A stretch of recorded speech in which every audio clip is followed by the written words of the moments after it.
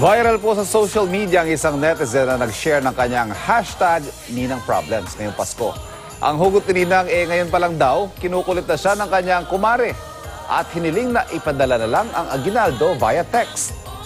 Pangaral ni ate, nagninang siya para gabayan ang kanyang mga inaanak sa kanilang paglaki at hindi para maging isang financier.